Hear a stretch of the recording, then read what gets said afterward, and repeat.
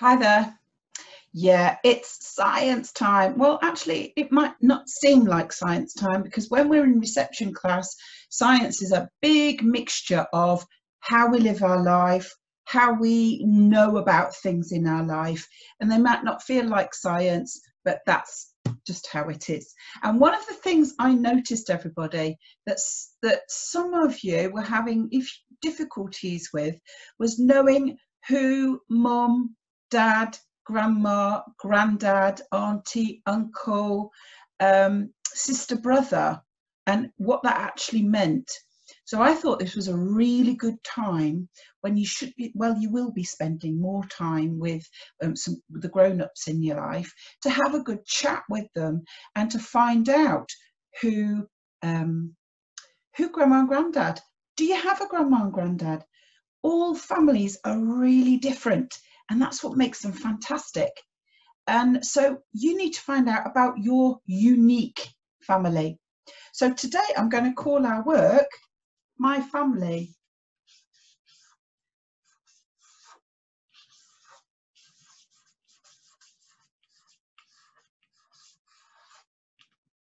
My family.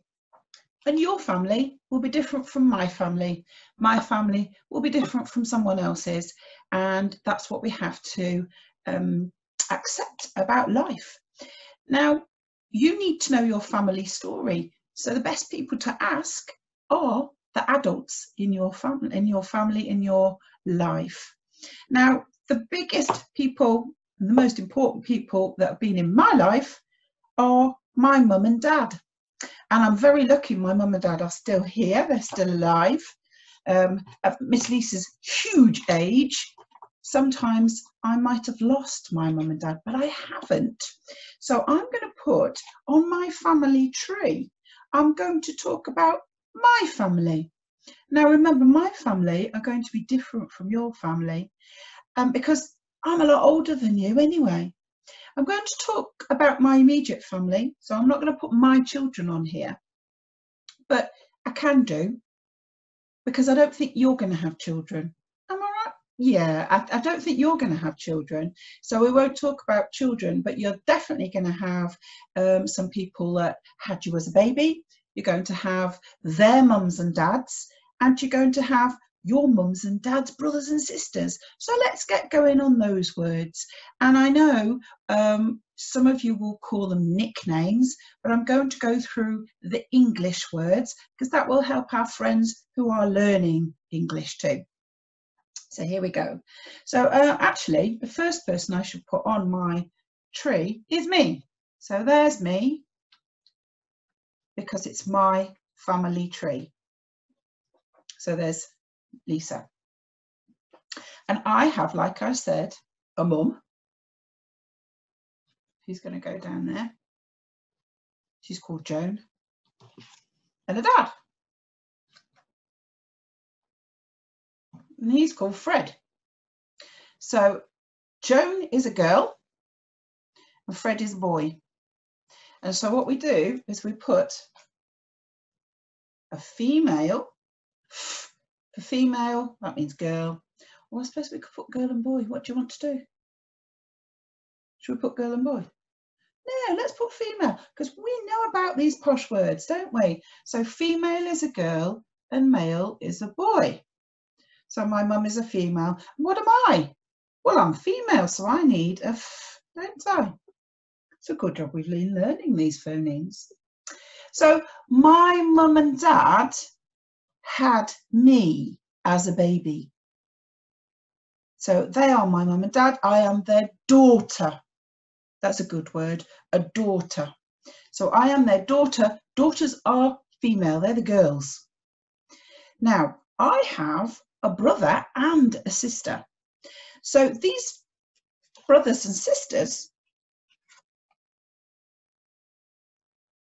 what I've done, I've put my dad in the wrong. Look at that, I've got them wrong, got my brother up there. I don't know, Miss Lisa.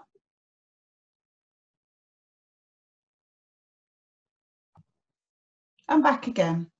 Now I put my brother as my dad. Big, big mistake to make. So there's my dad and he he's a boy, so he needs a mm, doesn't he? Right, start again. So mum and dad had me as baby, and that makes them me, my their daughter. Now they also had a boy, Jay, who is my brother. He's my brother because he's a boy, and he also these two people had them as a baby. So he is their son. He's my mum and dad's son. I am their daughter because I'm female, and my brother Jay is my mum and dad's son. Now we also have a sister, Linz, and Linz is a girl. So she is a female. Now she's my sister. So my brother is a boy and my sister is a girl. And my sister is also a daughter because she's a girl. So my mum and dad have two daughters and one son. Now, my mum, she had a mum and a dad, and they had her as a baby. But unfortunately, her dad has died. So my mum doesn't have a dad anymore, but she did have a dad. Now, he was my granddad. So my mum's mum and dad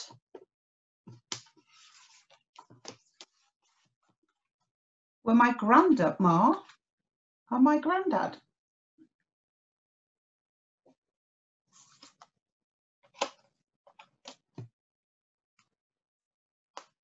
There they are.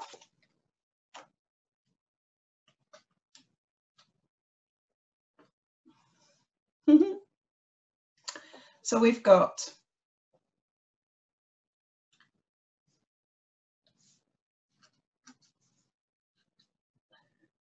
my grandma and my granddad. My grandma is a girl, so she's female. My granddad is a boy, so he's male.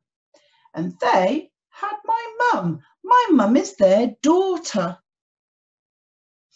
because she's a girl.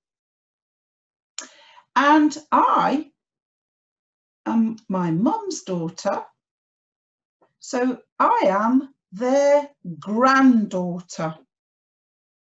They're not my mummy and daddy, they're my mum's mummy and daddy. My mum is my mum. This is where it starts to get a bit complicated. So my mum and dad both had mums and dads. So my dad's mum is still alive.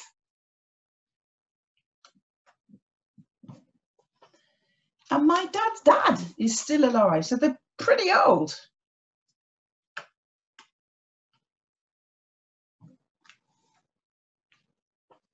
So my grandma and my granddad had my dad as a baby. He is their son. So my grandma is a female, she's a girl, and my granddad is a male, he's a boy. My dad is a male, he's a boy, so he is their son. So grandma and granddad had a boy, had a son. He was their baby. And then my dad had me. So I am their granddaughter because I'm a girl. I'm a granddaughter.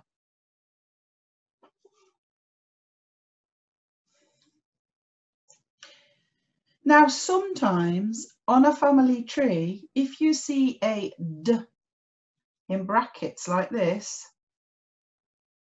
it means a big word, deceased. It means they've died.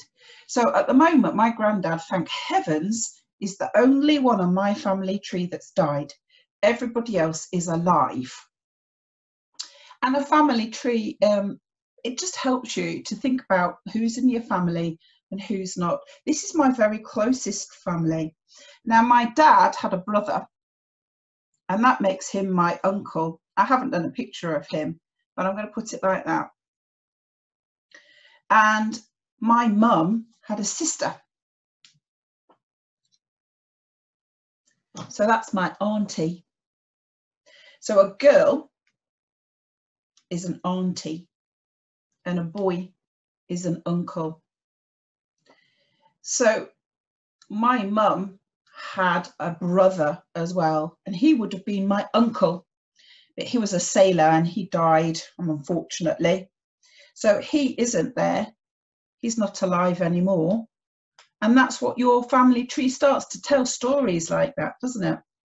So I had a sailor in the family, and he was my mum's brother, and he had an accident at sea. So he's died. So on my mum's side of the family, two people have died. And it's sad, but that's our family story. And my dad had a brother, has a brother, and he's still alive. So he can be on my family tree. I just haven't done a picture of him. So let's try and put some words to it because English, you know, I've told you this before, is very, very difficult to get your, your head around. So let's take these off.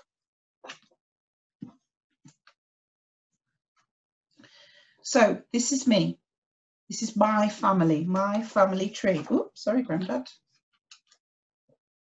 So I call my dad, dad, but some people call them father.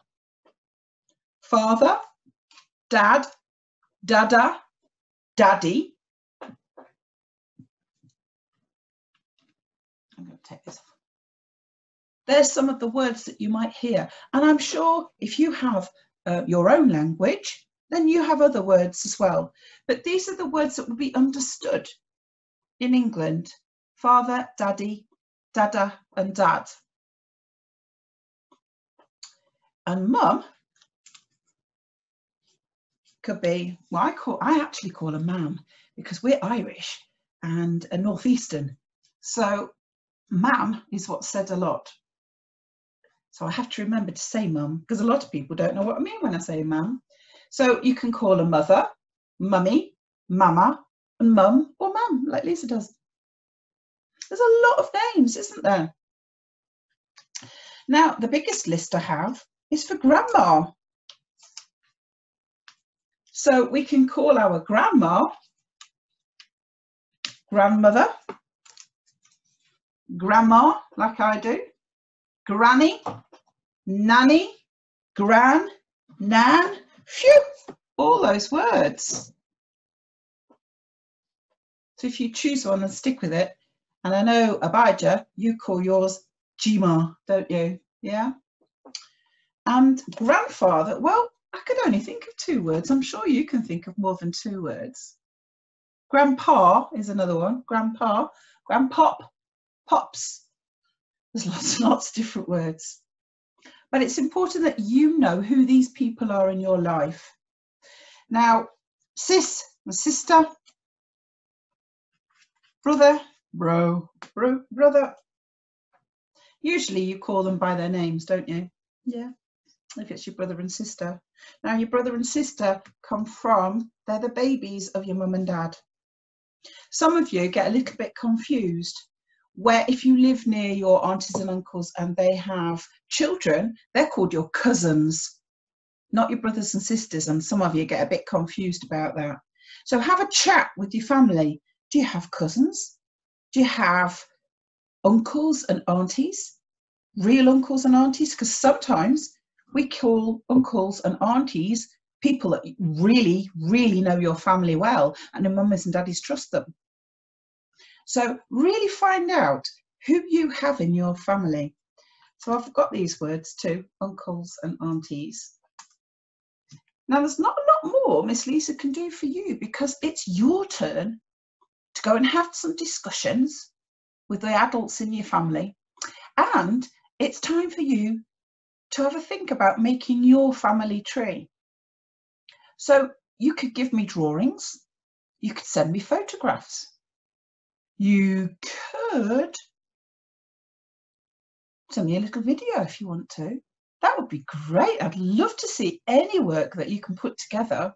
I know it's a hard time because sometimes you don't have the the things that you need to do So I haven't got a lot of things at home and I'm having to use what I can find, and you can probably tell. But that's okay because we can learn all the time. We're always learning, aren't we? So try to learn these words because we have in our next topic when we all get back to school a book which really needs you to know what a daddy is, what a mummy is, what daughter and a son, what a grandma and a granddad, and possibly auntie and uncle are, and how they fit into the family. So have a really good chat. Maybe have a look at some photographs. That's a good idea. Spend a lovely hour or so with your mums and dads, aunties, uncles, granddads, granddads, significant others, and just looking at photographs and talking about them. And don't forget to ask lots of questions because that's the way we learn. Who's that? Where are they? When was that? How many years ago? What's her name? What's his name? Okay. Well, I'm going to say goodbye now. Um, look forward to all of the different ways that you're going to send some work in. And, well, look for your next piece of work. Dun, dun, dun. It's going to be, oh, maybe I should tell you now what you need. No, actually, I'll leave that to Miss Holly. She'll tell you what you'll need for the next science film. See you soon, everybody. Really take care of yourself. Wash those hands. Where's my hand? Wash those hands. Catch your sneezes and look after your family. Bye, everyone.